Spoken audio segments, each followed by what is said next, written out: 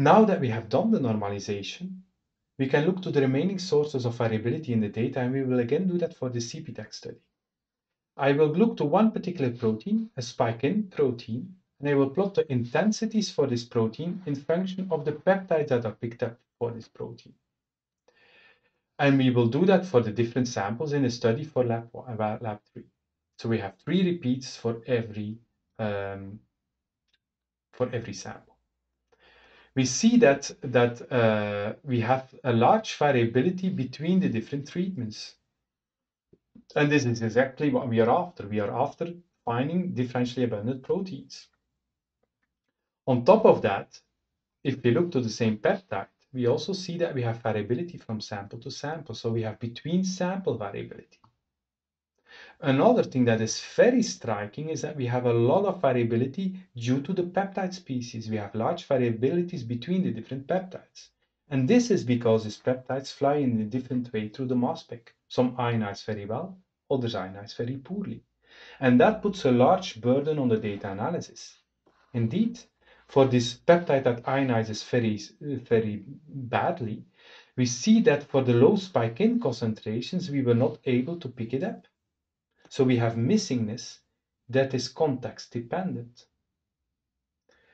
And this is something that we will have to account for in the downstream analysis. A last thing that is also important is to realize that the data that we have at hand is not uh, data that is independent. We have a level of pseudo replication. We have multiple peptides that originate from the same protein pool. And peptides from the same sample, the same protein pool, are more alike than peptides from different samples, different protein pools. And therefore, we will have to account for that level of pseudo-replication. And how do we typically do that? If you have pseudo-replicates or technical replicates, you can summarize your technical replicates in one uh, summarized value. And in our case, this is a protein expression value. So we summarize all the peptides for a certain value in a certain sample in one protein level expression value. And if you have done the summarization, you can finally go to the differential abundance analysis. So you can use statistical tests to assess which um, peptides are differentially abundant according to the treatment. I will illustrate the impact of the summarization method on how much peptide or proteins that we can pick up. And we can do that in this study. We know that all the UPS proteins are differentially abundant, so we can evaluate it, the, the power of these different methods. I will do that on a subset of the study, the A versus B comparison, the most difficult comparison. And with the statistical test, we will have three expression values um, for A, for, for sample A, we have three expression values for sample B. For every protein, we can simply do a t-test. And if we do these t-tests, we will get p-values for every t-test, and a p-value is a measure for statistical significance. It is giving you the probability to observe a difference that is as large as what we have seen, so a log 2 fold change between p versus a, that is as large as what we have seen in the sample by random chance if you would repeat the experiment again, and if in reality there would be no difference between uh, the, the treatments.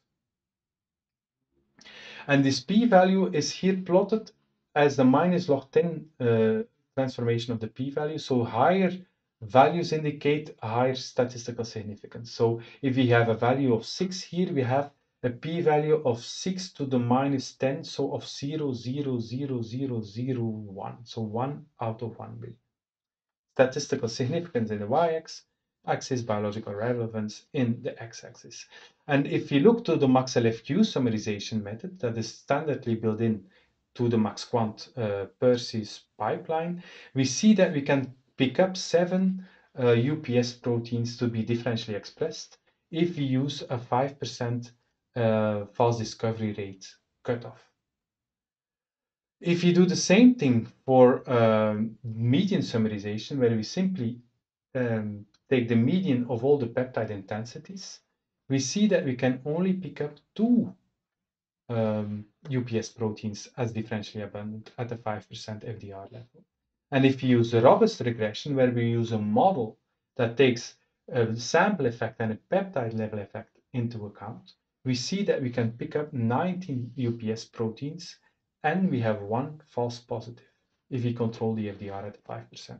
And we see that the, the FDR control here is okay because the meaning of an FDR is that we expect about 5% of false positives on average in the list that we return. And here we have one false positive out of 20 positives that we return, and that's 5%. So we see that robust regression performs much better. Another thing that we can also look at is the estimate that we have for the fold change. And we have yeast proteins that are not differentially abundant, and we have UPS proteins that are differentially abundant. And uh, the yeast proteins are not differentially expressed. They have a log fold change of zero.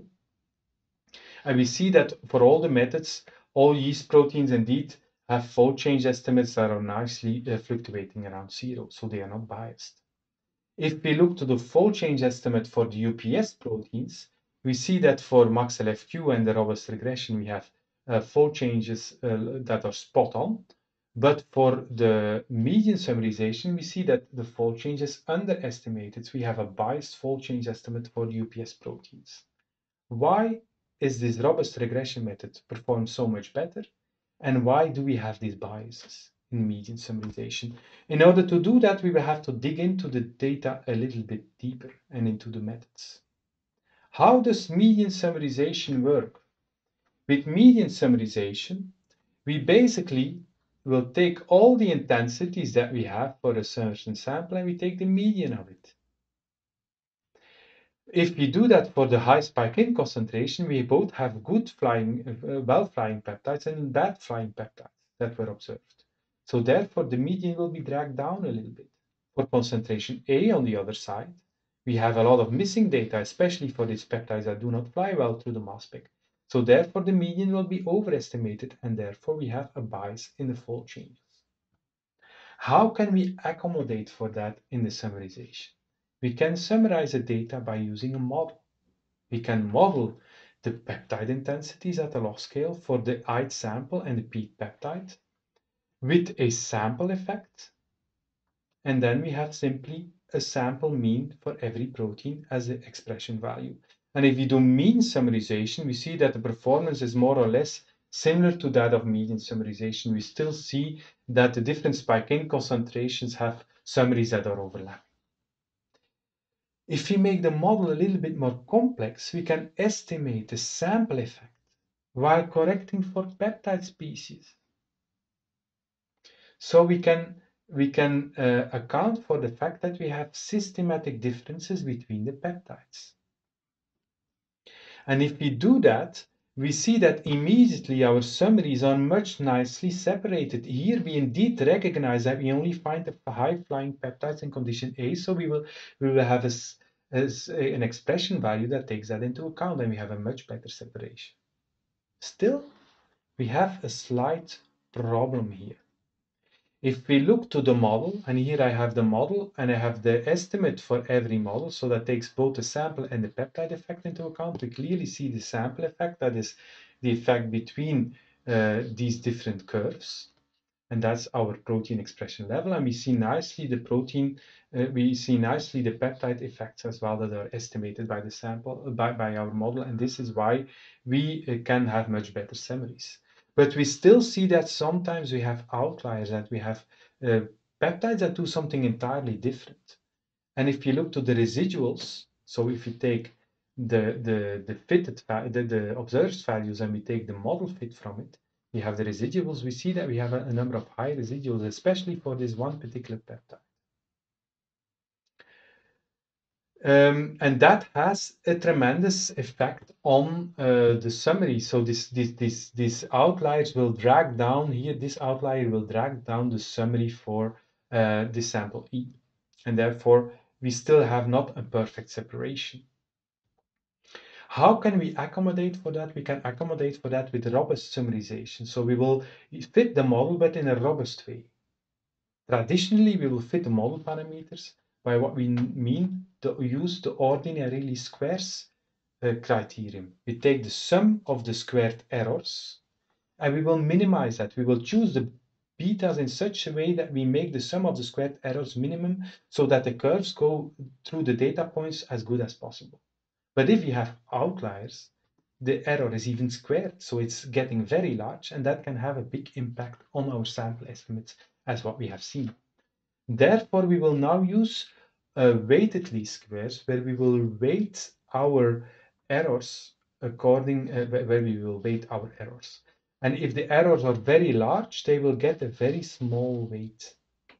And uh, here you see the residuals and their weight, and we see that this very large residuals will get a low weight, and by doing that, we see that we have much better summaries and that with robust regression, we have a very nice separation between the three different spike-in concentrations and that we have summaries that account for peptide level effects and that also take into account outliers that often occur in proteomics. Now that we have seen these different sources of variability, that we have seen how we can do the summarization, we can go to the next um, part in this uh, lecture series, and this is on experimental design, on exploiting the sources of variation in order to build better experimental designs.